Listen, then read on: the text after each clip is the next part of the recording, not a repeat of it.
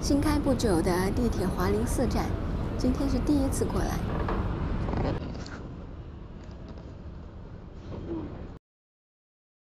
今天要去的地方呢是耀华社区，出口处便是带有几分神秘色彩的荔湾广场，不远处便是华林寺了。现在看起来一条不起眼的古巷里。却集中了很多原汁原味的西关人家。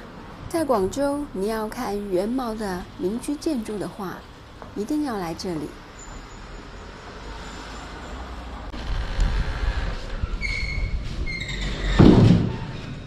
到处都是老房子，一百米左右的街上有三十三栋这样的，呃，以前的西关大屋。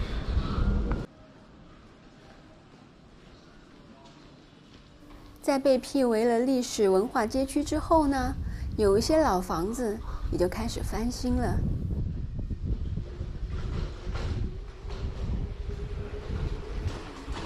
那我先问这一间呢，嗯，其实蛮有来头的，它是当年就是民国的时候一位粤剧非常有名的艺人白玉堂所住的地方。在旁边，那间也是。角门上雕刻了精美的四季花卉，可以看得出主人对生活的讲究。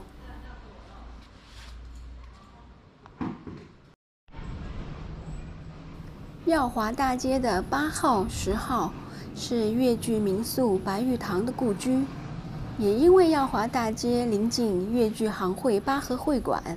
所以当年不少的粤剧大咖们都会选择住在这里。天气晴好的时候，大家便在街上晒戏服，而白玉堂的戏服曾晒满了半条街。十二号这栋楼也很有故事，它是香港一位督察林建刚先生的祖居，他的姑母以前独自生活在这里，得到了左邻右舍的悉心照顾。后来姑母过世，便将这一栋祖居捐赠出来，作为社区的康宁服务中心使用。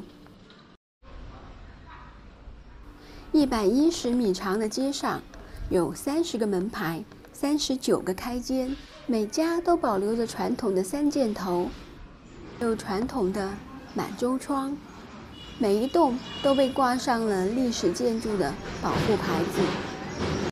我觉得在广州很多，广州最有名的就是西关大屋，但是呢，最密集的地方，原貌保持的最好的，我反而就觉得是这一条一百米长的耀华大街。看，我后边都是老房子，他们现在还有人居住。整条街上最引人注目的房子。是耀华大街二十号，这是一栋完全西式的气派建筑，在八米高的绿色罗马柱上，还有“金昌隆建造”几个字。它是南海横江名门黄永瑜的故居，但也有人说，真正的屋主是儒将蔡廷锴，而建屋的图纸还是孙中山先生从国外带回来的。二十四号是两栋房子，都有着非常精美的石刻。现在这里的其中一间是黄俊英艺术馆。北方有相声，其实南方也有。黄俊英便是粤语相声的开创者，一代粤语相声大师。如果你对西关大屋和粤语相声有兴趣的话，不妨可以过来走走。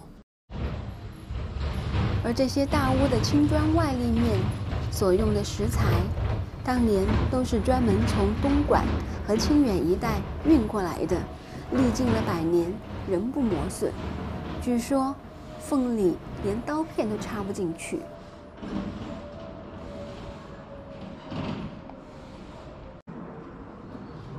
每一户人家角门上的图案和门斗的雕刻都各不相同。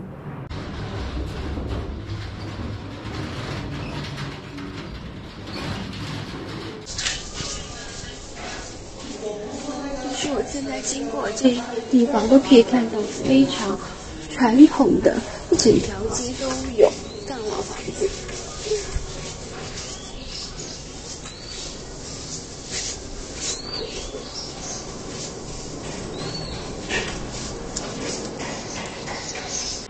偶尔也有一两间传统的清代建筑，屋檐下还有的精美的木刻。年代久远的麻石路，细数一下，路面平铺了五条麻石。古代的麻石路也是很有讲究的，三条为巷，五条为街，所以现在看起来窄窄的耀华大街，便就由此得名了。